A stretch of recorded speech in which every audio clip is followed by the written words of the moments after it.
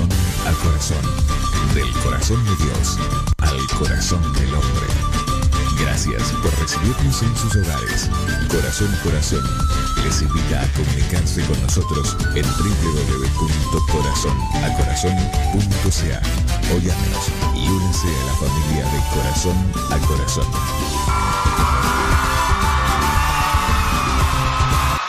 ¿Qué tal? ¿Qué tal? Bienvenidos una vez más a este su programa Corazón a Corazón. Como siempre decimos, es del corazón de Dios al corazón de cada uno de ustedes. Gracias por sintonizarnos en el programa y también en nuestra radio eh, la voz, ya yo, siempre me equivoco con la voz amiga y con la voz de vida, voz de vida Radio Cristiana. Eh, gracias por este estar sintonizándonos también ahí. Estamos transmitiendo la ciudad de Toronto, Ontario. Canadá con una temperatura que estoy viendo de 3 grados bajo cero y con tremenda tormenta de agua que está en estos momentos hasta las 12 y 30 que está eh, la lluvia. Creo que esa freezing rain me parece, o lluvia congelada, como usted pueda, eh, quiera decirle. Pero bueno, así estamos disfrutando lo que es el clima, el tiempo en la hermosa ciudad. Y también estoy viendo que van ganando los Raptors, así que vamos por eso. ¿Qué tal, Pedro? Bien, vamos los Raptors. Dios, eh, ya, eh, está sucediendo cosas importantes en esta gran ciudad de Toronto, Canadá. Eh, Toronto al encuentro con Dios. Siempre está la expectativa eh, con las bendiciones de Dios en nuestras vidas. Antes de anunciar el mensaje y todo esto, quiero cantar una canción en inglés. Es un ¿Tú vas a cantar, Pedro? ¡Wow! Corazón está Eh, lloviendo. eh, es hermoso. Mi alma ah, quiere alabar a Dios. Nosotros venimos a alabar a Dios en un programa cristiano evangélico, eh, un programa eh, que quiere ayudar a la comunidad que conozca más a Dios, que se acerque más a Dios, que crea más en su Creador y que se acuerda en todos los días de su vida. Y la canción dice así. Blessed be the Lord, blessed be the Lord, blessed be the Lord, oh my soul. Blessed be thy name, blessed be the name, blessed be the name of the Lord. Gracias damos a Dios en esta ocasión, mi amigo, hay que alabar el nombre de Dios. ¿Por qué? Eh, por bendecimos el nombre de Dios, no porque Él provee muchas cosas y nos da tantas cosas a nosotros, sino que le adoramos, le bendecimos y alabamos a Dios porque por quién es Él. ¿Por quién es Él? Esa es la forma correcta tantas cosas nosotros recibimos de beneficio, tantas cosas. Casualmente mi mensaje continúa de la semana pasada que dice, cuidado, un evangelio falso está destruyendo el cristianismo bíblico. Mm. Quiero que todas partes, de todas partes del mundo, escuchen este poderoso mensaje. ¿Sabe por qué es poderoso? porque es una parábola que en esta en el capítulo 16 de Lucas, del doctor Lucas, del gran escritor, del poeta de la Biblia, eh, sabe que Lucas aclara ciertas cosas de cómo el maestro enseñaba en forma de parábola a sus discípulos. Hermoso.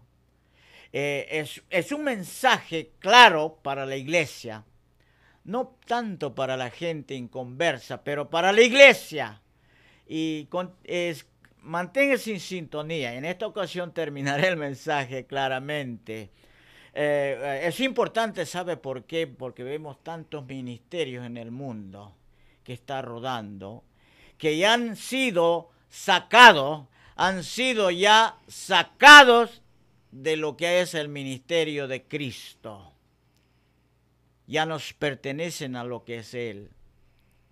Más bien son mayordomos infieles. Y la Biblia es clara. Dice que el, el hombre rico sacó a su mayordomo infiel porque estaba malgastando sus bienes. Hoy en día hay ministerios que gastan los bienes del Señor. Qué malgaste. Más adelante, sigue en sintonía, Norma. Bueno, eh, queremos dar gracias por los pastores y eh, los hermanos que se están poniendo en contacto con nosotros acerca de eh, tener su programación en la radio cristiana Voz de Vida. Damos gracias a ellos porque han tomado, o sea, estamos, este, están haciendo ellos eh, los planes para poder compartir y poder estar en medio nuestro. Y algo muy interesante esta mañana, o sea, que, me sucedió esta mañana, que recibí una llamada, o sea, esta semana la verdad que he estado bastante eh, atareada, ¿no? Que se puede decir. Eh, pero esta semana recibí, eh, hoy día, antes que nada quiero dar dos o tres agradecimientos. En primer lugar, primero quiero agradecer al señor Luis Zúñiga, quien eh, muy gentilmente eh, nos obsequió tanto al programa La Voz, amiga con la doctora Normalicia, como a Frecuencia 5 su, su libro. Eh, no sé cómo es que se llama, no, no, no me acuerdo si me lo puede enseñar para, para el título del, del, libro, que le doy gracias a Luis Zúñiga de Montreal, quien me, me envió el, el libro. El libro, gracias Luis, tu acento. Muchísimas gracias por haber este, compartido y por haber este, eh, enviado el libro. Em, otra de las agradecimientos, quiero agradecerle eh, formalmente el agradecimiento al embajador de Venezuela en Canadá, señor Orlando Viera Blanco, por siempre la, extenderme la invitación como medio para asistir a sus charlas que él viene frecuentemente a Toronto. Y como decía esta mañana, eh, recibí una llamada de nuestro querido amigo y colega que la semana pasada estuvo en el programa, Jorge de Jesús. Eh, y fue algo muy interesante porque... ya yo le he dicho ya a Pedro de asunto, que Pedro siempre dice, de que corazón a corazón lo sostienen los cuervos de Elías. No, siempre es verdad. es verdad. Y lo más interesante que Jorge me llama esta mañana y me dice, pero doctora, que le he conseguido. Y, lo más jocoso de la historia que hay un pastor y un cantante dominicano que va a estar compartiendo en la radio eh, cristiana y se llama Elías, Elías Sánchez. Así que le damos la más cordial bienvenida. Yo me voy a estar poniendo en contacto con él. Eh, gracias a esta persona que tuve contacto con el ministerio del pastor de la República Dominicana. ¿Su nombre? ¿Quién? ¿Quién te dio el...? Jorge, Jorge, el Jorgito. El oh, Jorgito, está trabajando en equipo, está mira. Trabajando en equipo, en la familia, está haciendo de bendición. claro, fue Jorgito. la programación de Voz de Vida. Ya, no, eh, ya, qué hermoso. Eh, eh, sí, está, Dios está abriendo las puertas. Eh, eh, en el Ministerio de Programas de Radio. Qué hermoso es que hay personas que ya están poniendo en contacto para que esta persona, y a propósito se, se llama Elías. Elías, Elías, Elías Sánchez. Si yo les diría cómo este ministerio se ha soportado por 36 años, usted no lo podría creer pero son los cuervos de Elías que soportaron este ministerio. ¿Sabe por qué? Cuando el pueblo de Dios no se hace presente, cuando los cristianos en comida no se hace presente, Él usa otra clase de medios para predicar su palabra. ¿Ah? Para predicar su palabra. No he recibido ninguna ayuda de los evangélicos, de los pastores de acá de la ciudad de Toronto. Entiendo que son un campo misionero, no son una fuerza. Yo no predico otro evangelio, yo predico el evangelio de Cristo, pero me gusta predicar no el evangelio norteamericano, no el evangelio de apóstoles y profetas, papis prophets, no me gusta predicar de todas estas avenidas de la prosperidad, pero me gusta predicar del reino de Cristo. Y me gusta ah, preservar la gloria para Él. La gloria es de Dios. La gloria, amigo, no es tuyo porque tú no inspiraste este libro, pero has hecho negocio de ella, has aprendido a vender la historia de Cristo, has aprendido a predicar el mensaje, pero no vives. Eso no sirve. La Biblia dice que nosotros tenemos que vivir el Evangelio y no vivir del Evangelio. Casualmente de eso se trata. Esta es la constitución de Dios. Recuerda, recuerda esto, predicador, obrero que estás allá en el ministerio, que te has desviado de la escritura. Casualmente esta parábola habla claramente, por eso he invitado a todos los pastores de todas partes del mundo que escuchen este mensaje. A lo mejor Dios trabaja en ellos para que regreses al camino del Señor. Norma, eh, vivimos en tiempos difíciles, en tiempos que hay eh, tanto engaño. La Biblia habla que Dios quiere bendecirnos y proveer para nuestra necesidad. Pero la Biblia en ninguna parte habla que nosotros tenemos que agarrar una provisión en una forma deshonesta. Cristo lo dijo así, Él estableció, Él es el autor. Él quiere bendecirnos, pero no de una manera deshonesta como el mundo lo hace. Y algunos han sido ya destituidos. Solamente vives por el interés que has aprendido, pero recuerda, el juicio viene. Seguimos adelante. Así es. Bueno, muchísimas gracias por todos los que están comunicándose y eh, usted puede entrar a la página, eh, hacerse mi fan de frecuencia 5, en la parte mm, izquierda está donde dice radio cristiana o voz eh, de vida. Puede entrar y ahí está en estos momentos música y el programa después vuelve a salir. Así que muchísimas gracias a todos por este esta esta nueva etapa que estamos viviendo recién hace un mes que nació la radio Voz de Vida. Hermoso. Por eso mi alma alaba a Dios en esta noche. En esta ocasión, porque Dios está abriendo puertas para otros ministerios para que comparten el mensaje. Yo no sé por qué.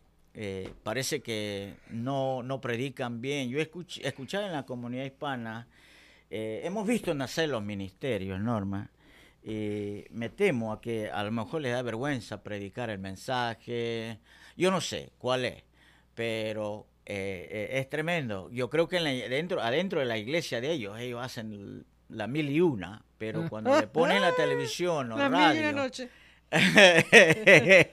porque esto no solamente es radio, sino es televisión. La gente te ve visualmente.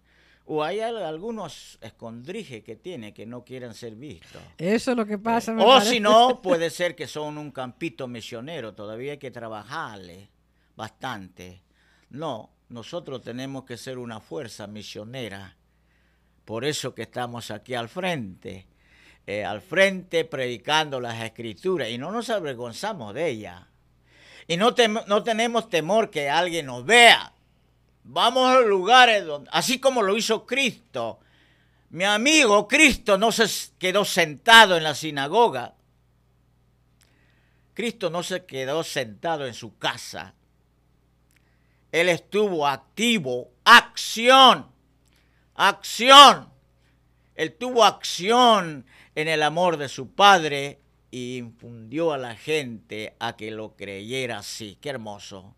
Eh, eh, hablar de Jesucristo es, es, es, encima de todo, Norma. Bueno, no quiero eh, seguir adelante. Bueno, mm. vamos. Ok. Eh, ¿Estás apurado, Pedro, hoy día? no, quiero, no, yo tengo una pasta, pero como dice usted, lo argentino.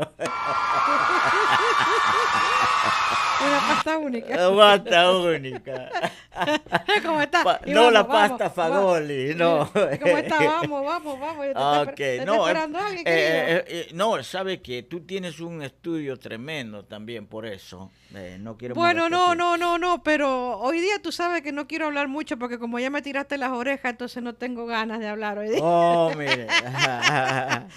ya, como tú dices que yo hablo, pero bueno, eh, no, sí, la gente me pide mucho, muchos temas.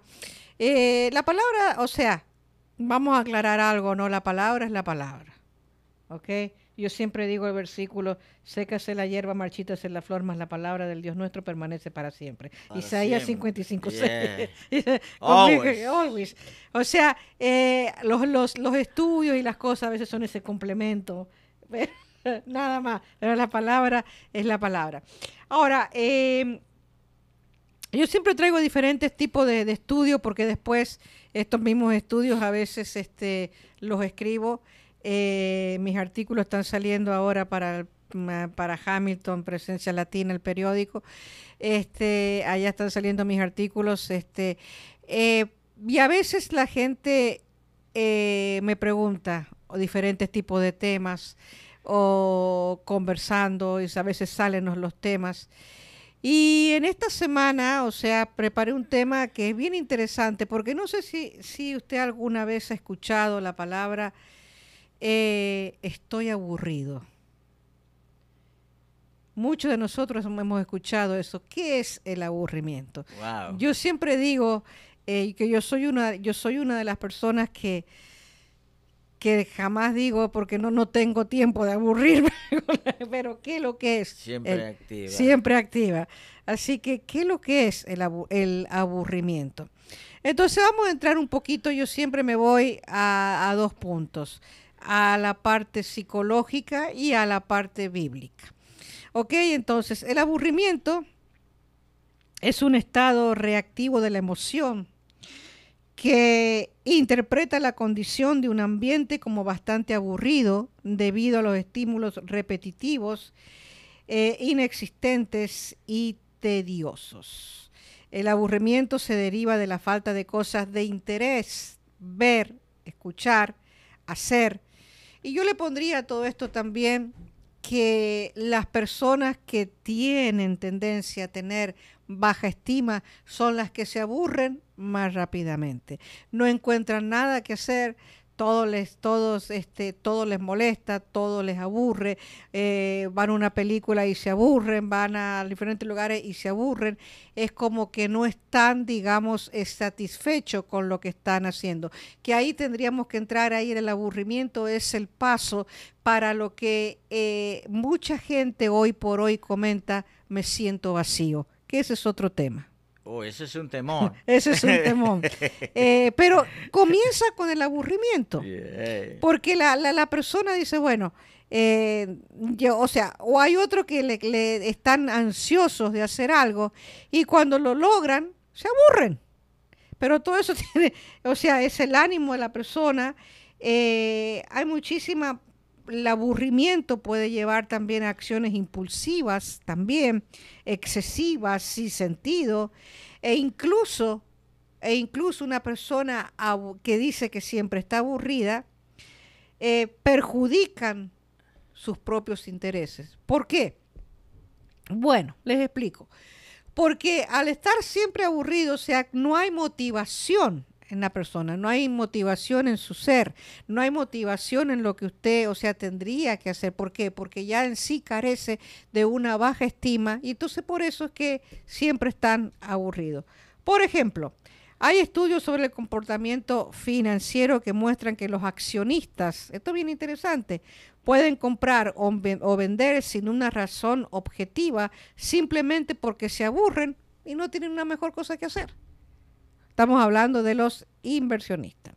El científico y escritor eh, Isaac Asimov aseguró que el aburrimiento iba a convertirse en la principal enfermedad de nuestra época, hasta tener consecuencias mentales, emocionales y psicológicas. Wow. Y eso lo estamos viendo ¿Cómo lo estamos viendo? Yo siempre digo, ahora creo que el mes que viene, este mes no, porque este mes, el mes de febrero, eh, en el periódico escribo sobre lo que es eh, el amor. Es un tema muy interesante que lo voy a tratar después cuando llegue esa fecha. Eh, el apego o el amor.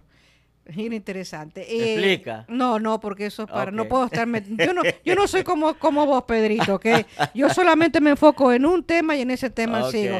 No empiezo con, con, con, con, Adán y termino en Apocalipsis. Vamos, adelante. No, otra vez no me diga vamos, caramba. Entonces, este, ¿qué es lo que sucede aquí? Eh, lo estamos viendo por la parte en esta, en esta manera de que por qué lo que dice acá, que trae consecuencias mentales, emocionales y psicológicas. Eh, mucha de la culpa, mucha de la culpa en estos momentos eh, se atribuye a todo lo que se está viviendo tecnológicamente. La tecnología en cierta manera es buena, pero también en cierta manera, especialmente cuando uno tiene jóvenes y niños, no saber controlar qué es lo que están haciendo sus hijos dentro de las tabletas o de la computadora es un grave problema gravísimo. He visto a padres que con tal de callar a sus hijos le dan la tableta y ni tienen ni idea de lo que están viendo los hijos. Y enseguida el muchachito o la muchachita dice estoy aburrido y le dan la tableta. Ahí ya está creando un problema. Eh, por acá hay algo bien interesante y eso es lo que tenemos que poner, eh, eh, considerar esto. Algunos psicólogos coinciden en afirmar que una de las razones que mueve a los jóvenes a entrar en el mundo de la droga y el alcoholismo es el aburrimiento. Es verdad. Yo conozco muchos amigos, no, amigos conocidos, desde muy joven que han sufrido de ese problema. Entonces, igualmente pasa con los niños, como yo lo dije recientemente, precisamente es el aburrimiento lo que los induce a cometer travesuras, lo que muy coloquialmente los padres le dicen, hoy se portó mal. Ese se portó mal tiene un indicio y es el indicio del aburrimiento de la criatura. ¿Por qué? Porque en cierta manera ese niño no le dan para que haga sus cosas, no los, los padres no le exigen para que ponga más atención en otra cosa. Por eso que eh, eh, el niño tiene esa tendencia o el joven a aburrirse. Eso es lo que está pasando acá y enseguida entonces eh, los padres eh, los, los atribuyen a, bueno, el nene está aburrido, eh, qué sé yo. Entonces hay muchas cosas. En la filosofía, el aburrimiento aparece frecuentemente junto a los sentimientos como el disgusto o el miedo. Esa es otra cosa también que a veces suele, suele, suele suceder. Entonces, eso es lo que yo les podría decir eh, lo que se llama eh, psicológicamente. Ahora, ¿qué dice la Biblia sobre el aburrimiento? Eh, el aburrimiento, como dije, es el estado emocional o físico que uno experimenta debido a la falta de estimulación mental, las actividades a realizar o el interés en el entorno. A veces la vida no es la película de acción, por lo tanto todos los sufrimientos, momentos de tristeza y aburrimiento, sufrimos eso en una manera.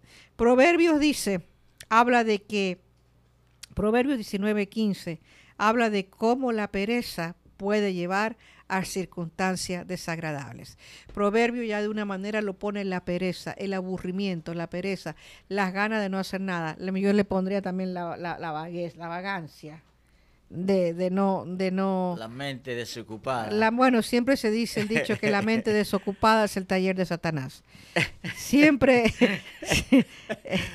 Entonces este hay muchas hay muchas cosas que se podrían eh, decir.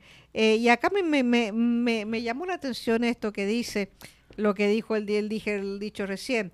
La mente desocupada es el taller de Satanás. Satanás ama las manos ociosas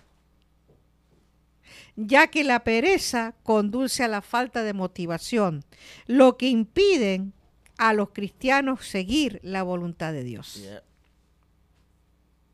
Primera de Timoteo 5:13 habla de cómo la sociedad también puede llevar a actividades pecaminosas. Si un cristiano no tiene un objetivo, yo creo que ahí ya tiene ya entra lo que es es ya parte de lo que es la, ha caído en las manos del enemigo, de la pereza, en la ociosidad, como le llama. Eh, segunda de Corintios 5, 17 nos dice que si alguien está en Cristo es una nueva criatura, lo viejo ha fallecido, he aquí todo lo nuevo ha llegado. Entonces, eh, el aburrimiento y la indiferencia no necesitan dirigir nuestro futuro. Entonces, hay muchas cosas que podría, que podría hablar sobre, sobre el aburrimiento, pero como don Pedro me está bueno. Para, para que para que para que para que termine. Entonces, este termina tu lección. No, eh, yo yo más, más más que nada, eh, yo lo que diría acá es este que ponga atención, digamos, cuando usted dice eh, estoy aburrido. Yo creo que ahí ya ahí ya ahí hay un problemita eh, puede ser que usted tenga o que esté pasando. Otra de las cosas que lo lleva al aburrimiento a las personas es recordarse del pasado. Por eso que segunda de Corintios dice, las cosas viejas pasaron, he aquí todas son hechas nuevas. Entonces, a veces la, la, persona entra en eso que me acuerdo de que cuando aquí, que cuando estaba en mi país, que cuando bla, bla, bla, bla. Eso lo trae, aunque a usted le parezca mentira, al aburrimiento. Se aburre. Ajá le trabaja. Y que allá, y que todo esto, y que aquí, que allá. Eh, bueno, que, y que todo, y que la plaza, y que la comida, y que no. Yo creo que esa actitud no es que nosotros no nos recordemos, no es que nosotros no, no recordemos, pero eh, no tenemos que darle tanta, tanta cosa porque ya usted eh, ya está en una nueva, en un nuevo camino, en una nueva, en una nueva ciudad, en un nuevo país, en un nuevo, a todo diferente. Entonces, por eso que la palabra dice, las cosas viejas pasaron, aquí todas son hechas nuevas. Entonces, por eso que a veces la persona lo lleva al aburrimiento pensar en las cosas del pasado. Eso es, eso es uno de los grandes, de los grandes factores y de ahí vienen entonces toda la, lo que el aburrido, qué es lo que pasa con la persona que entra en el aburrimiento. No quiere hacer nada. Entra lo que dice proverbio, la, la, lo, lo que es la, mm, este, que la, la, la pereza, la vagancia, entra en todo eso. Entonces, ¿qué es lo que conduce a todo eso? Al alcohol, a las drogas. Y mire cómo empezó recordando muchas veces las cosas viejas, eh, sentirse aburrido, no tener un objetivo en la vida. Todo eso usted lo tiene que ir viendo, lo tiene que, especialmente si usted tiene hijos eh, chicos o jóvenes, ir viendo todo eso, eh, qué es lo que está haciendo su hijo, que yo creo que es muy importante cuando uno tiene los hijos de, de involucrarlos en varias actividades para que no tenga tiempo para aburrirse. Ya. Qué bueno, ya. Así que cualquier cosa que, que quiera más ahondar sobre este tema, yo después voy a escribir un poquito más. Me llama 416-414-0093, ahí por WhatsApp, lo que sea, y conversamos. Eh, bueno, eh, no sé si ya está listo ya para que le pongan la cámara al eh, pastor. Ya, solamente quiero comentar en esto del aburrimiento, Norma. Sabe, eh, nuestro organismo está capacitado para no aburrirnos, para ser felices. Pero la falla del hombre ha hecho que haya un cerco adentro de nosotros. Si no es llenado por Dios, siempre va a carecer de esa felicidad, siempre va a tener aburrimiento, siempre va a carecer de paz en su vida. Y no solamente eso, hay mucha gente cristiana, como tú dijiste, muy importante, eh, el que nace de nuevo, y aquí son, las cosas son hechas nuevas. ¿Sabe por qué no funciona esto de cosas nuevas? El Espíritu Santo ya hizo trabajo en el consciente, en el inconsciente, donde, amiga, amigo, usted no puede llegar donde llega el Espíritu Santo. Recuerde esto. Usted solamente es un colaborador. Y como colaborador, ¿qué es lo que tiene que hacer? Usted tiene que eh, preparar en su vida esto. Tiene que hacer un hábito Vivimos en un tiempo, en los tiempos pecaminosos, siempre estamos influenciados por toda esta cosa que está en la sociedad y somos influenciados. Tal. Es como si, como si no pudiera solucionar ese problema.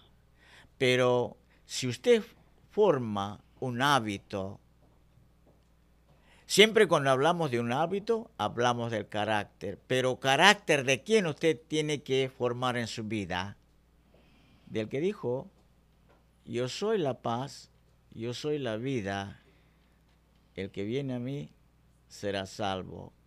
Sí, Cristo asumió del Padre todos esos pormenores que hay en nuestra vida. Por eso que cuando nos entregamos a Cristo somos completos una vez más. Pero hay que trabajar. La mayor parte lo hace Dios, Él provee todo, pero nosotros tenemos que ser fiel colaboradores para que Él haga en la obra en nosotros. Hay muchos cristianos que fracasan por eso porque cree que Dios va a hacer todo en su vida. Están esperando, como algunos eh, quieren tener programa, tiene que tener ministerio y tiene que tener programa de radio y todavía están orando. 50 años en el ministerio. Hay que tomarle mano a la radio. Esto, que, esto es cosa de actuar. Now. Tiene que predicar la palabra. Tiene que vivir la palabra. Hay tanta gente que se está muriendo de esta clase de problemas, de estrés, de dolor y tantas cosas. Hay, gente que practica tantas cosas. ¿Dónde está el predicador?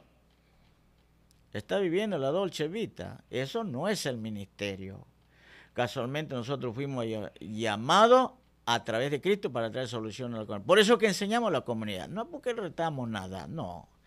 Queremos que usted sea feliz. Usted está equipado con ese cuerpo que tiene, que Dios le ha dado, le ha creado, pero la falta del hombre, la aplicación de Dios, no puede estar en, en el hombre pecaminoso, pero hay que formar un carácter, un nuevo hábito en la vida para que usted sea más que victorioso. Ya. Bueno, entonces, este, sin más preámbulo, yo lo dejo con la predicación. Después vuelvo otra vez para eh, cerrar y para dar los anuncios que faltan, ¿ok? Ya. Quiero leer el versículo bíblico que leí la semana pasada para algunos que no estuvieron atentos eh, a la predicación. ¿Y quién dijo esto? Cristo. Dijo también a su discípulo, había un hombre rico que tenía un mayordomo y este fue acusado de qué? Ante él como disipador de sus bienes. Entonces le llamó y le dijo, ¿qué es esto que oigo acerca de ti? Da cuenta de tu mayordomía, porque ya no podrás más ser mayordomo. Eso se encuentra en Lucas capítulo 16 del 1 al 2. Ya no podrás ser más mayordomo. Eso lo dije claramente. Y Cristo estaba enseñando esta lección por medio de la parábola a sus discípulos, nada menos y nada que ellos. Porque ellos, Cristo estaba enseñando que su reino, eh, que le iba a dejar a ellos como ministro, y aquí tenía un precio que pagar, tenía una obediencia que hacer. Ahora, Jesús habló de cierto hombre rico que oyó un reporte de que sus mayordomos estaban malgastando sus posiciones.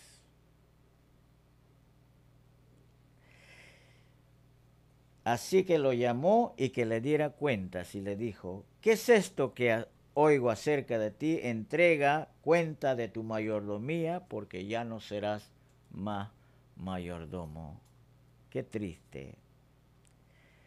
Esta parábola es muy importante para el pueblo de Cristo.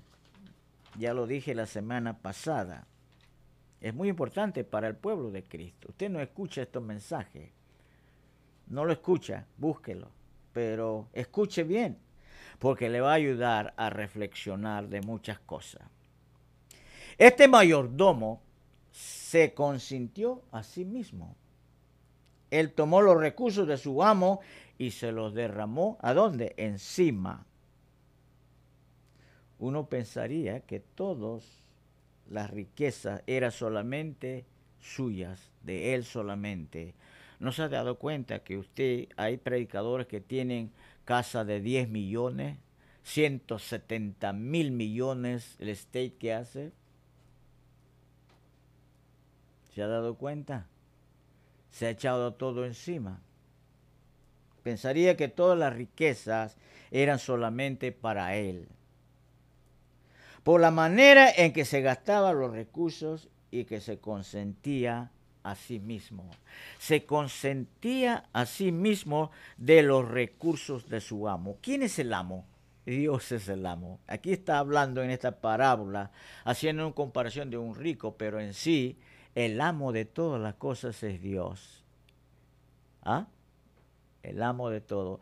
Eh, se estaban gastando los recursos de Dios. No se dieron cuenta que Dios le iba a pedir cuentas por ese desperdicio. Dije también la semana pasada, el poder es otro de los recursos gloriosos que Cristo está haciendo egoístamente y tontamente malgastado. ¿No se ha dado cuenta que hay predicadores que quieren estar con la media, quieren estar con el presidente Trump? Oh, quieren ser importantes. Pero ¿de dónde sacaron de ser importantes si ellos no escribieron la Biblia? Mm. El hombre rico representa a Dios aquí y su, palabra. Nosotros solamente somos simples administradores, somos siervos y el siervo no puede ser más que su Señor. El único que puede ser grande es Dios a través de Cristo.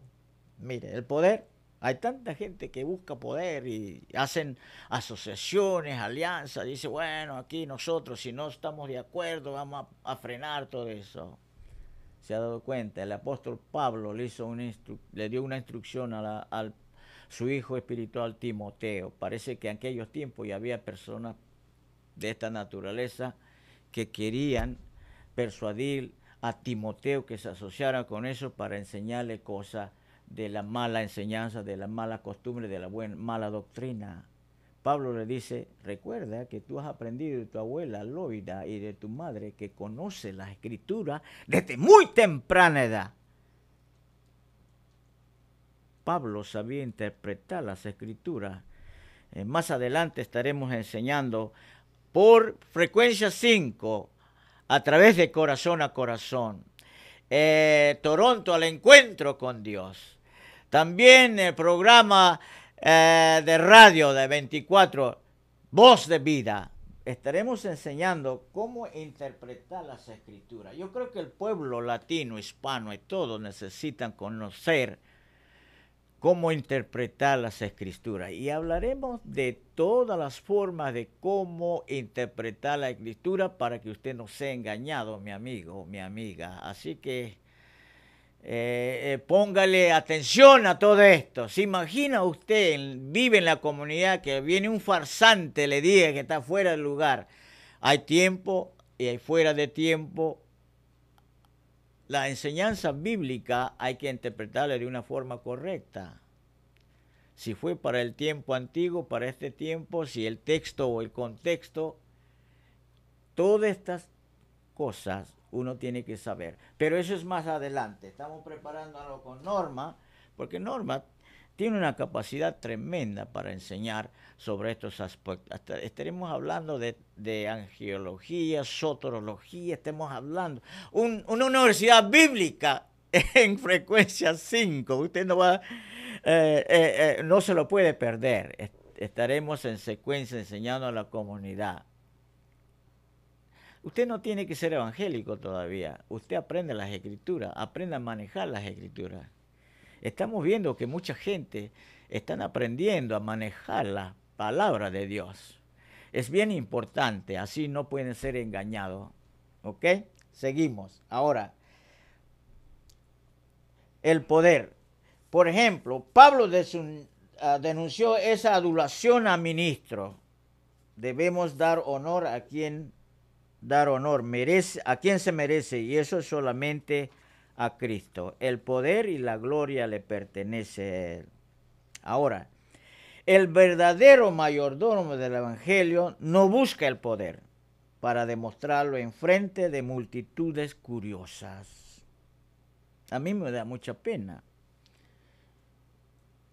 Por ahí viene un evangelista, tira uno y tira cuantos ahí, se tira el saco y cree que es el Espíritu Santo. Mire lo que dice la Biblia. El Evangelio no busca el poder para demostrarlo en frente de multitudes curiosas.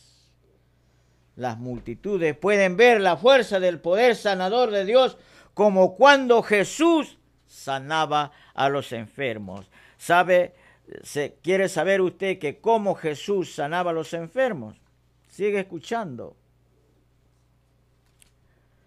Sin embargo, a él le oían decir una y otra vez, no le digas a nadie.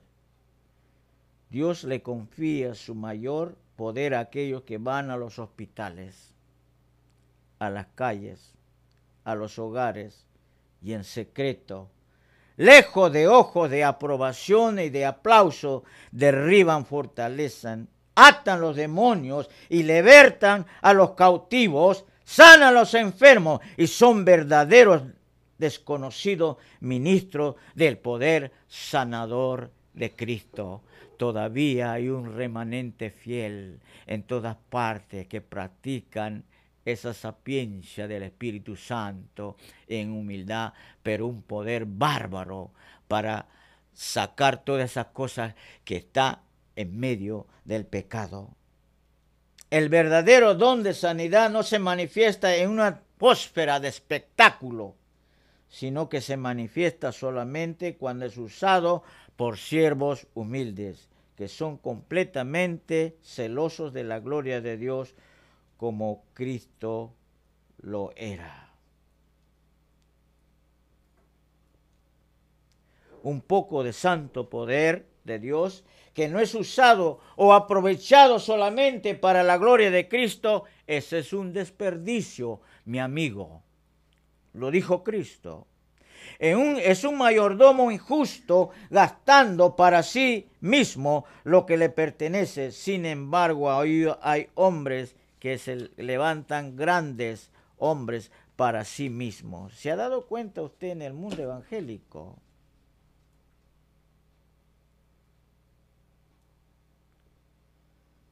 Hay hombres para, que se han levantado para sí mismos, robándole la gloria y el poder al Señor para engrandecerse ellos mismos. Estos son los evangelistas que atraen multitudes. No digo que no creo en el ministerio del evangelista, lo creo. Pero hoy en día se ha perdido tantas cosas. Quieren ser famosos, quieren tener la gloria de ellos, son profetas y profetizan y dicen tantas cosas. La Biblia no nos enseña de todos esos malabares. ¿Cuál es el otro recurso que está siendo malgastado? Es la fe. Es otro recurso que está siendo desperdiciado por cristianos hoy en día. Toda la fe verdadera proviene de quién? De Cristo. Cuando hablas de toda la riqueza de Dios en Cristo Jesús, debe incluir la fe. Somos salvos por la fe de Cristo. Pero la preciosa fe que debería haber sido cuidadosamente invertida está siendo desperdiciada en muchas cosas en beneficio de los que predican en los púlpitos. Y le dije que este es un mensaje poderoso. Nadie se atreve a predicar este mensaje si no tiene la autoridad de Dios. Yo soy un simple, humilde eh, promotor de quién es Cristo. No me tomo la autoridad, pero es necesario que la iglesia escuche y el pastorado escuche esta clase de mensajes. Ahora, ¿por qué será que los cristianos pueden invertir toda clase de fe en un intento de llegar a ser prósperos y felices. Lo que hablaba Norma. Pero no pueden tener fe para que su casa y sus vecinos sean salvos. ¿Por qué tan poca fe para recibir la santidad de Cristo? ¿Por qué tan poca fe para evangelizar a un mundo perdido? Hay un mundo perdido, mi amigo. Si usted no se ha dado cuenta, dice la palabra, hay un mundo perdido. Por eso que predicamos nosotros. No predicamos porque vivimos el Evangelio, vivimos el Evangelio, predicamos porque creemos, vivimos el Evangelio y hay una necesidad urgente en la sociedad que conozca a Dios y que conozca a Cristo y que venga a los pies de Él. Porque es importante, es una evidencia de, de más de poder evangelizar al mundo perdido. Ahora, dice la palabra que fe viene por el predicar la palabra de Él. Yo le digo a estos ministros que solamente están debajo de sus púlpitos. Dios conoce lo que hace usted detrás de su púlpito. Él sabe, lo está viendo. Y muchas veces lo ha agarrado con la masa en la mano. No te hagas el ileso porque Él sabe todo. No te escondas de Él. No tengas vergüenza, si tienes que arrepentirte, arrepiéntete antes que sea muy tarde. Antes que sea muy tarde. Porque Él te va a pedir cuenta de todo. Ahora, la gran lección. ¿Qué, ¿Qué, lección sacamos de esta parábola? La gran lección de esta parábola va más allá de la tragedia de una iglesia que desperdicia las riquezas de Cristo en intereses egoístas. Va hacia el pensamiento corrupto de los mayordomos cristianos que han sido despojados de la autoridad divina. Han sido ya despojados. Créalo o no. Todo esto que son mayordomos infieles, han sido ya despojados del reino de Dios. Los mayordomos del Evangelio que desperdician el tiempo, la fe y el poder y otros recursos divinos van por consiguiente a perder su autoridad espiritual en Cristo y van a ser libres para comprometerse con sus propios planes y proyectos. Hay tantos planes y proyectos de tanta gente, de tantos pastores y evangelistas. La forma, los métodos y las estrategias no cambian la vida del ser humano, no cambiará una sociedad en pecado. Pero el tener un encuentro con Cristo, como dijo Norma, tiene que nacer de nuevo para que Él haga la obra en tu vida. Entonces el mayordomo dijo para sí, ¿qué haré? Porque mi amo me quita, me quita la mayordomía. Los mayordomos que malgastan la riqueza de su amo pierden la unción. Llegan a estar completamente dedicados a su propia sobrevivencia.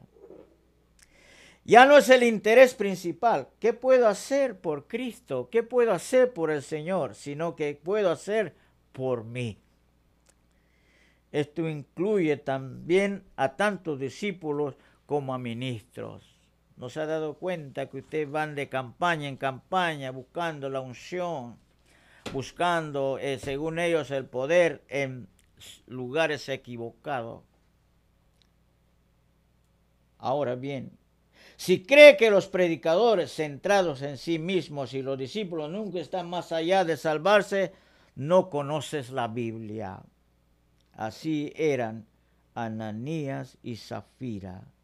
También Alejandro y Emineo, a quienes Pablo entregó a Satanás para que otros temieran. También aquellos de Romanos 1 que cayeron de la fe a la profundidad de una mente reprobada.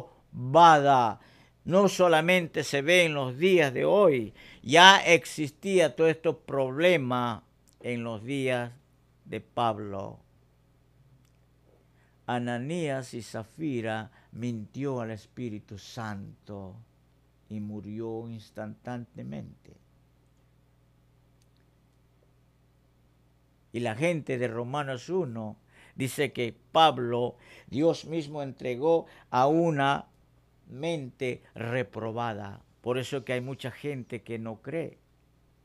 Te lo digo con dolor de mi corazón, que hay ahora ya hay ovejas y ministros que han desechado, que han sido desechados por Dios. Usted tómalo como lo quiera, pero la palabra de Dios no miente.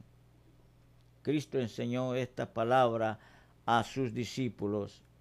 Ellos fueron absorbidos por el egoísmo, empezaron a fornicar con madera y piedra, se convirtieron en constructores de templos y de monumentos, de realizaciones personales y rechazaron una vida de quebrantamiento y humildad. Dejaron el closet de oración por sus intereses y por la obra de sus manos temerariamente gastaron el dinero de Dios, la fe de Dios, el tiempo de Dios y el poder de Dios. ¿Te identificas con esto? No te sorprenda que hay ministerios que tienen tantas propiedades, grandes edificios, obra de hombres, obra de hombres. Que Dios nos ayude. No todos son corruptos, gracias a Dios. Hay un remanente creciente de santos y ministerios que han vuelto a la justicia y a la oración. Pero el verdadero cuerpo de Cristo debe orar por sabiduría divina. ¿Para qué? Para discernir a aquellos que han sido despojados de la autoridad espiritual y de la unción. Discernimiento. La iglesia necesita orar, necesita tener discernimiento. Y sabe que ¿dónde está el discernimiento? Está aquí. El discernimiento no viene de aquel profeta que lo envía de Estados Unidos, le pone la mano a uno, a uno que es favorito, que quiere hacer tantas cosas aquí, le dice que tú vas a hacer. Vivimos en, los tiempos, en los 20. Qué ignorancia. Eso es sustituir la iglesia, que Dios me habló, Dios me dijo, Dios me trajo, Dios me mostró que ese hombre va a ser. Mentira del diablo. La palabra de Dios está bien clara y escrita, que nosotros nos tenemos que someter a la palabra. Por eso que queremos enseñar a tanta gente de esta comunidad en todas partes del mundo cómo interpretar las escrituras. Es hermoso.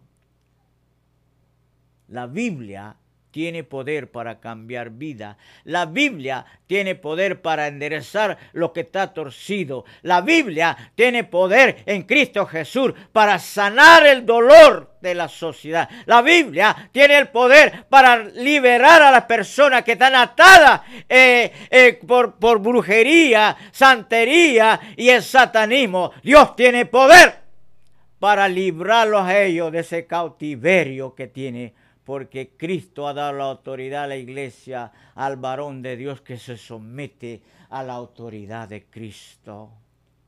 Eso debe ser, eso debe ser nuestro primer interés. ¿Mm? No todos son corruptos, hay todavía. Si Dios puede hacer caer a Babilonia en una hora, seguramente puede limpiar esta mezcla en su templo en un momento. La mayor parte de los mayordomos modernos, está hablando de los pastores evangelistas, que han sido despojados por Dios de todo servicio espiritual, no son tan sabios como el mayordomo injusto. No se dan cuenta de que ya todo terminó. Los intereses de Dios ya no son lo más sobresaliente. Ahora lo único importante para que ellos en su próximo, en su próximo proyecto termina un proyecto de hombre solamente para lanzar otro más espectacular que el anterior. Mi corazón clama a Dios, mi amigo. Oh bendito Señor cuando se despertará el pueblo de Dios a empezar a discernir todo este loco gastar, esa construcción, esa mentalidad mundana representa un despilfarro hechos por cristianos. Usted me dirá que el, el mundo necesita un edificio, yo sé, pero hay tantos despilfarros dentro de la iglesia que no tiene consuelo. Ahora, ¿por qué hay tanto despilfarro en esto? Están tan confiados en sí mismos, tan ricos, tan influyentes, tan influenciados en sus caminos, tan comprometidos en sus propios planes y proyectos que no pueden escuchar nada. Han sido despojados, no, no lo van a escuchar. Sus ojos están cerrados, sus oídos no oye, no sabe que la gloria se ha ido y el acobá ha sido escrito sobre sus puertas. Y tan cierto como el mayordomo injusto fue derrocado, así también ellos caerán de la casa de Dios en sus ministros y ministerios. Dios, la palabra de Dios es fuerte, es tremendo, es tremendo porque eh, Dios quiere que nosotros le sirvamos de Él con santidad. Debemos tener temor a Él porque es un Dios justo. Él no, no dejó un evangelio corrupto, un evangelio a medias. Es por eso que estamos oyendo ese evangelio barato, rebajado de tantos púlpitos. Ahora hemos llegado al corazón del mensaje de esta parábola, mi amigo estos mayordomos que han sido despojados van por ahí haciendo tratos rebajados con deudores que andan buscando una forma de paga barata. ¿Quién quiere pagar el precio completo de la ordenación, de la redención cuando hay un pie, una oferta de saldar la cuenta con una salvación barata? Sin propósitos, sin nada. ¿Quién quiere llevar a los sufrimientos de Cristo cuando puedes cumplir con menos? Porque soportar la muerte, la cruz, el oprobio, el rechazo, cuando simplemente reclamas tus derechos y puedes volar justo hasta el paraíso, sin pena ni sacrificio. Iglesia, alíñese, es tiempo del Evangelio basado en tratos baratos.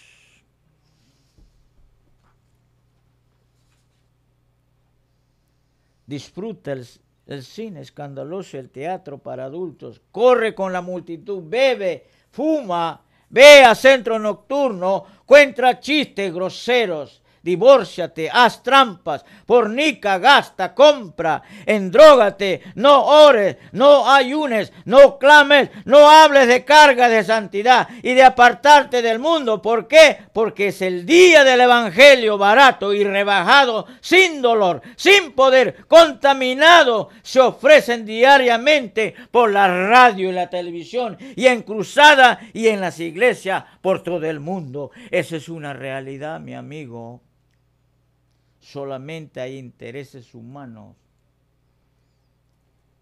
Y esta clase de gente que no tiene discernimiento son atraídos como mieles de ovejas para engrandecer el reino de los hombres. No es el reino de Dios.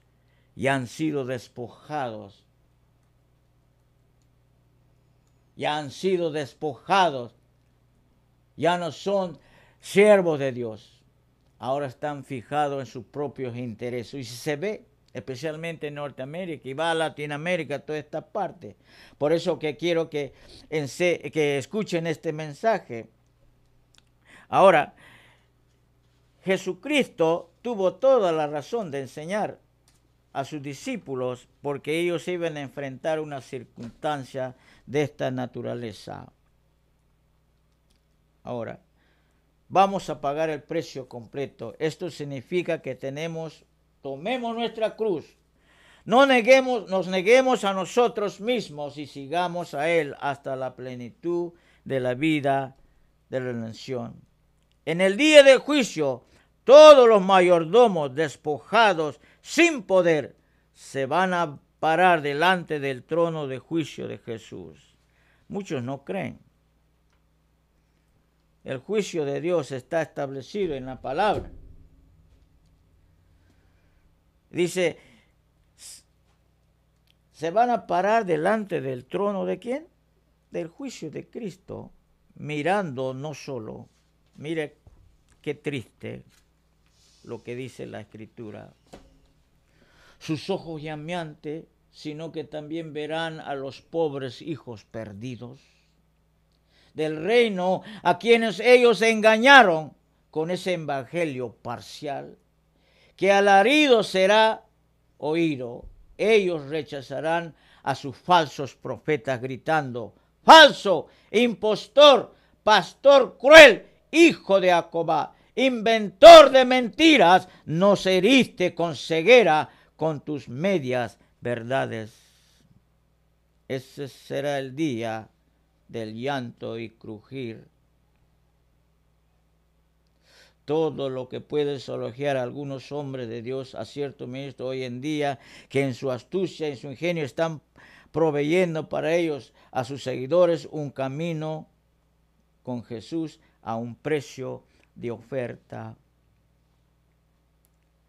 Y esta astuta y es astuta la manera en que las escrituras son torcidas, entrelazadas para hacer que suenan correctas y aprobadas delante de Dios. Han ido tan lejos que muchos pueden pecar a voluntad y no ser convictos de pecado. Pueden decir con el Israel apóstata, librados somos para hacer nuestras cosas. Era esta Israel apóstata es miserable, ciega y desnuda, hasta que no renuncia a toda la tibieza que dice, Dios vomitará de su boca a ella y todo lo que representa. Este hecho espantoso ya está sucediendo, mis amigos. Mi oración es en esta ocasión, con este mensaje fuerte, Dios, danos mayordomos fieles.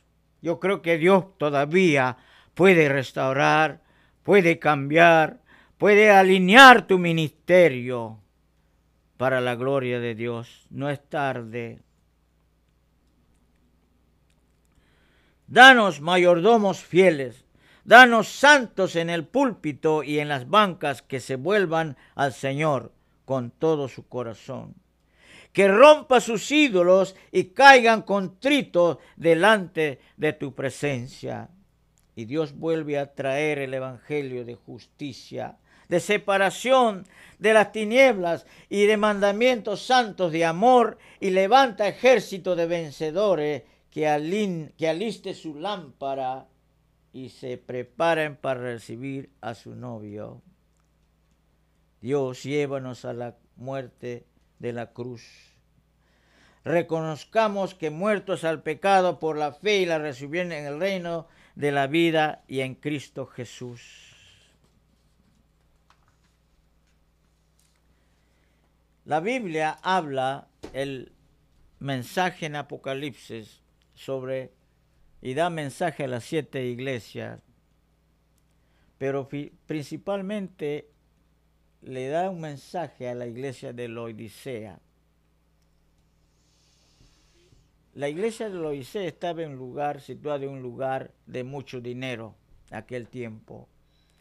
Estaba eh, en la en la parte que es Turquía hoy, era rica, no tenía necesidad de nada. Era una iglesia que poderosa en dinero. Pensó que no tenía, no tenía necesidad de nada, pero Dios habla a la iglesia de Odisea, le dice, así que eres rica, pero yo te digo que eres pobre y eres desnuda porque no eres ni tibio ni caliente. Porque eres así, te vomitaré de mi boca. So que seguir el Evangelio no es cosa fácil. Si algunos te han pintado este Evangelio, que no tienes que tener un cambio de vida, hay algunos pastores acá en la ciudad que dicen, bueno, eso es lo que hay hoy, eso es lo que enseñamos. Claro, eres un, mercenario de eso que te has aprovechado las circunstancias. Sabe que el apóstol Pablo, hablando un poco de la economía y con esto aclaro, acabo, el apóstol Pablo fue el único apóstol que no recibió ayuda de sueldo. Solamente la iglesia de los Gálates le proveyó cierta ayuda. Pero ¿sabe cómo Pablo soportó su ministerio? Él hacía carpas. En aquellos tiempos parece que era un buen negocio. ¿Por qué? Porque él dijo, yo no quiero ser gravoso con la iglesia. Qué hermoso.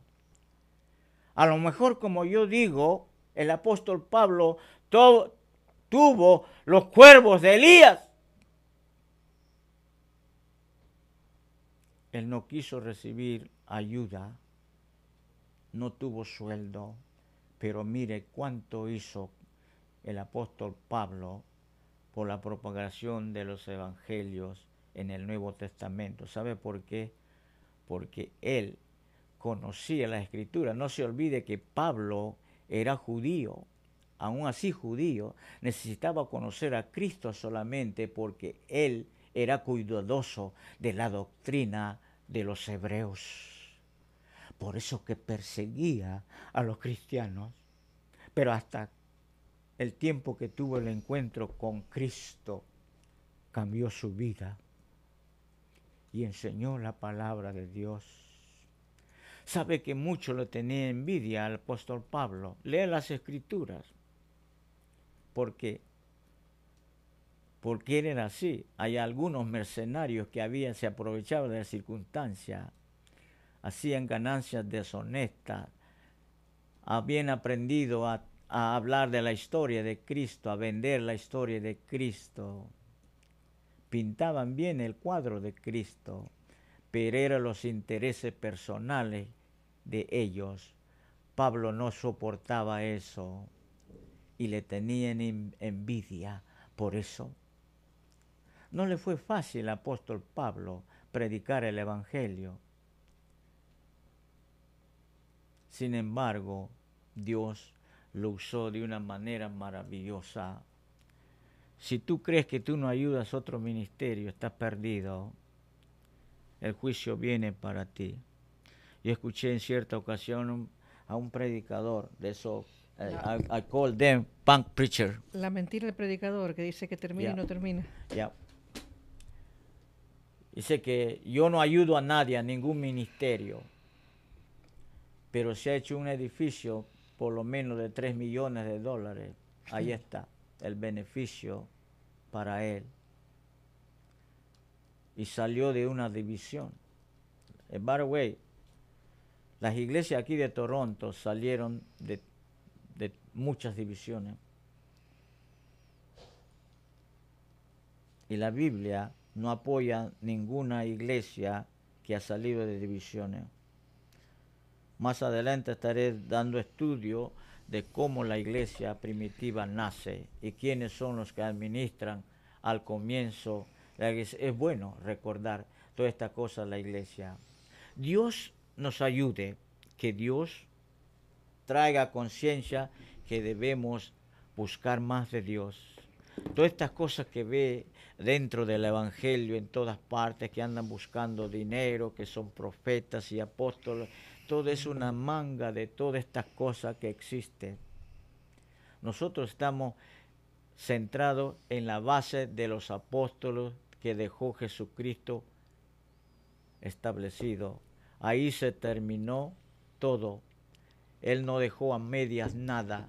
No hay revelación, no hay un uh, alguien que, que, le, que, le, dé ciertas cosas. Creemos en el ministerio, pero no necesariamente. Tenemos que ir a buscar. Ahora, ¿Por qué razón Dios desecha a todos estos siervos que han sido llamados por Dios y se han apartado las escrituras. ¿Sabe por qué?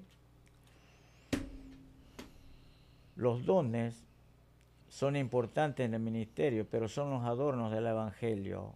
La gloria de Dios y de Cristo son los frutos. Mm. Dios quiere proveernos, Él, quiere bendecirnos. La, la Biblia habla de bendiciones. No estoy en contra de eso. Pero la Biblia en ninguna parte repite y dice, hazte rico en una forma deshonesta, porque le has robado a tu Señor. Le has engañado, has querido engañar, pero no, Él no es engañado. Él sabe todas las cosas. Dios tenga misericordia de nosotros en este último tiempo y volvamos a la Escritura y volvamos a nacer de nuevo en el Evangelio de Jesucristo. Dios te bendiga ricamente. Amén. Eh, yo creo, Pedro, que la palabra no siempre es, ah, es buena, pero me inquieta algo que dijiste de las divisiones de la iglesia. pero hay algo que hay que rescatar, o sea, que Dios en su misericordia al menos opera, o sea, Dios en su misericordia Obra. obra. Pero sí es cierto que Toronto, yo podría decir que está eh, casi, no quiero decir casi, pero bastante. Minado de de divisiones. divi- sí, exactamente. Y es Lo bien, conocemos bien. es bien complicado. Y Bueno, mijo, 44 años acá, querido, claro, claro que lo conocemos bien. Así que, pero es, es, es un poco complicado. Y es bueno a veces, tú sabes, de... eh, nosotros tenemos hasta la mitad, o sea, tenemos que, ya me puse ya de acuerdo con la persona, pero yo tenemos hasta la mitad del libro de verdaderamente de, de la historia, la verdadera de la iglesia, de, la, de las verdaderas historias, de las mm, fundamentadas. Eh, ¿Cómo es que se dice? Eh, Establecidas. Establecidas eh, que fueron pocas, ¿no? Y de ahí, digamos, a cómo se, ha sal- se han salido las, las divisiones, que eso es lo que, lo que en cierta manera ha afectado a, a la, a la comunidad cristiana. Pero hay solución. ¿Cuál? La solución es que debemos volvernos a Él. Debemos buscar más de Él. Debemos predicar el Evangelio eh, de Cristo. Eh, eh, eso es nuestra base. Nosotros no predicamos de revelaciones aquí humanas, de tantas cosas, de la segunda dimensión, de la declaración, de todas estas cosas. Sin embargo, todas estas cosas salieron de un canadiense y un americano que hizo media en toda Latinoamérica y ahora están engañados. Mm, ¿Y qué es lo que hacen? Salen los recursos para ellos mismos. Inclusive, ¿qué es lo que pasa? Que en esto hay iglesias ya en la, en la ciudad de Toronto que después de, de la predicación se, se invita a una rancherita ahí para que canten, Ah, después se van a los al mariachi, a los Ah, mariachi. bueno, después invitan a la gente a la iglesia y están ahí abajo. y hacen y- el baile. en Y el, el- el ay, ay, bailecito. Casualmente estos son los ministros que han salido de una secuencia muy pobre. No, pero tú sabes, tú barato. sabes, tú sabes que hay una, hay una, hay una iglesia hispana acá eh, que este, no predican, o sea, porque no predican lo que es eh, las cosas, digamos, la historia y todo esto, porque dice que es este obsoleta. Y ahí, o sea, la gente tiene que tener, este, tiene que tener cuidado. Casualmente, más adelante vamos a enseñar la escritura. Ya, A ver, así algunos pueden aprender si nunca lo aprendieron, nunca fueron a un seminario. Porque una cosa es aprender en una forma estética y aprender de un grupito de aquí, de allá y de los profetas que le dicen tú vas a hacer esto, tú vas a funcionar, tú vas a Es hacer como un horóscopo un cristiano. horóscopo cristiano. No o que- sea, que no viven, no, no hacen, sino, sino lo que el profeta les sabe dice. lo que vende bastante es la unción. Hablan tanto De la unción, la ya. unción, la unción, porque eso vende, ¿me El único ungido es Cristo. Amén. La palabra está ungida, hay que tomarlo Y el apropiadamente. único apóstol fue Juan. Ya, el último, me- el último. ¿Me entiende? Entonces nosotros eh, tenemos que tener cuidado con toda esa enseñanza que ha hecho Mella, que viene un, se hace uno apóstol, cree que es el líder, el mandamás de toda la ciudad y anda haciendo desbarajuste.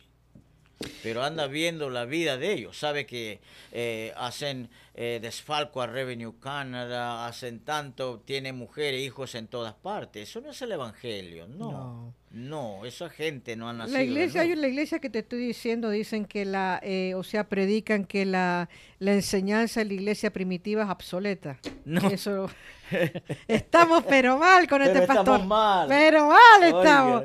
pero estamos en el horno. Ah. Este, y hay una iglesia acá hispana, o sea, que, que el pastor predica y predica a su, a su gente y a su todos los que tiene, o sea que la enseñanza de la iglesia primitiva está obsoleta, ya con eso ya ustedes, yo creo que, yo siempre eh, digo, yo siempre digo y hago este hincapié y siempre lo seguiré diciendo. Hay un versículo que dice en la palabra eh, que hay que, eh, toda la escritura es inspirada por hay que, hay que, digamos, escudriñar. Escudriñar quiere decir estudiar, quiere decir indagar, quiere decir más. No, no se deje usted engañar por aquel, pues, como eso, estamos volviendo hace 40 años atrás.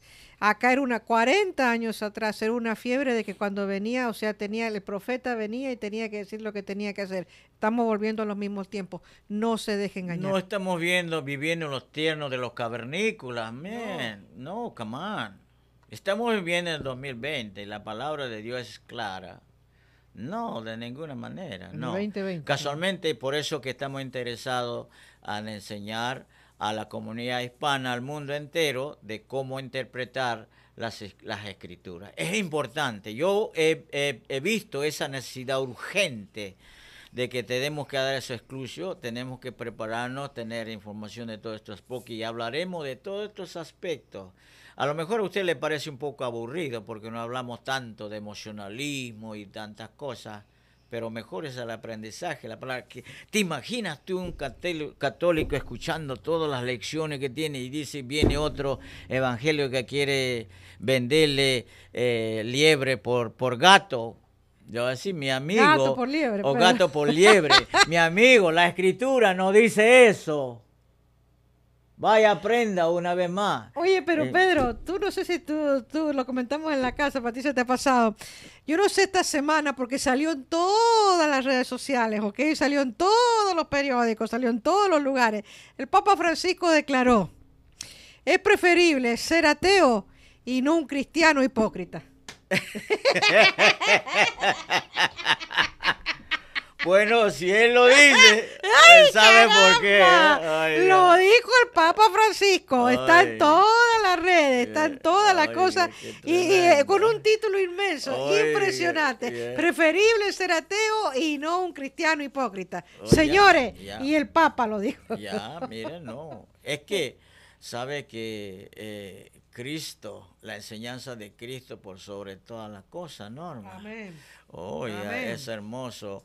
Cuando empecemos a tocar de angiología, cuando empecemos de sotorología, de neumatología. Hermenéutica y homilética. Hermenéutica y homilética. ¡Mamá! ¡Oiga!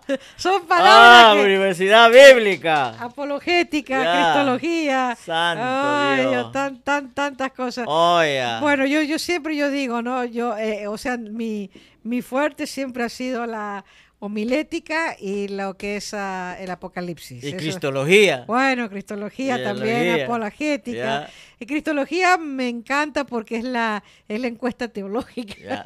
es tremendo. es algo increíble. Eh, tú sabes que a veces... Ah, ah, eh, hablar en la deidad de Dios hay tantos engaños, dice que hay tantos profetas en medio de las religiones que uno no quiero decir nombre, pero tiene que verificar el profeta para que la escritura sea inspirada.